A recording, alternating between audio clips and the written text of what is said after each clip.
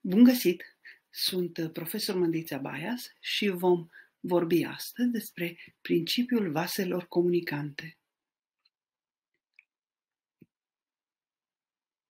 Vă lansez câteva provocări. Cum ajunge apa la etajele superioare ale imobilelor? Cum se poate construi o fântână arteziană fără sursă de energie externă? Ați văzut vreodată un lac înclinat? Adică suprafața lui să fie înclinată? Toate aceste întrebări vor găsi răspunsul după ce vom vedea ce sunt vasele comunicante. Vasele comunicante comunică pe la bază și dacă turnăm lichid în unul dintre ele, lichidul va urca la același nivel în toate vasele care comunică. Dacă vom înclina aceste vase, vom vedea că suprafața lichidului din cele patru vase comunicante este mereu orizontală.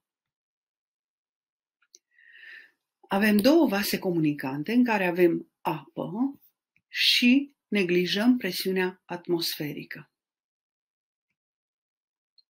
Vom măsura presiunea în interiorul celor două vase comunicante la aceeași adâncime, deci pe aceeași linie orizontală și vom vedea că presiunea este egală.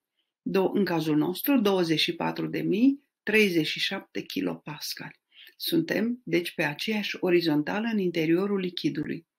Facem mai multe măsurători cu diferite nivele de lichid.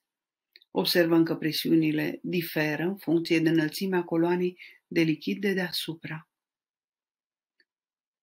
De data aceasta crește nivelul lichidului, crește înălțimea coloanei de lichid.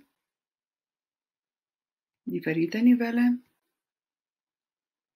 Presiunea atmosferică influențează presiunea în vasele comunicante.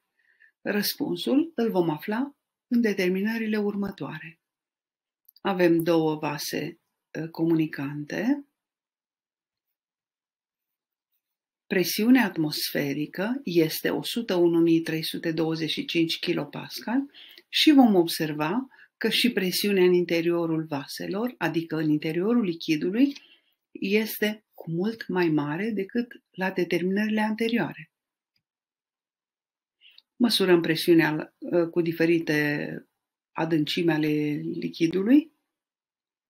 Natura lichidului influențează presiunea în vasele comunicante adică vom folosi uh, lichide de densități diferite. Răspunsul îl aflăm în determinările următoare. Avem un lichid cu densitatea de 1200 kg pe metru cub, măsurăm presiunea în interiorul lui la o, la o anumită adâncime și observăm o anumită valoare a presiunii care diferă față de cea anterioară la aceeași adâncime. Uh, dacă luăm densitate 1300 kg pe metru cub, vom observa că presiunea este mai mare. Vă urez succes în explicarea și demonstrarea modului cum constructorii trasează același nivel în două puncte diferite. Metodă care folosește principiul vaselor comunicante, adică aceea cu furtunuri.